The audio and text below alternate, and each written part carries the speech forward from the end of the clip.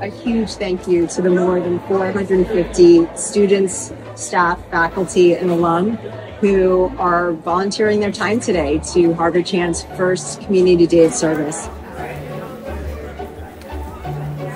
Your work is making a big difference to our neighbors in need um, throughout our community. And just to see the level of enthusiasm and energy for this work today has just been amazing.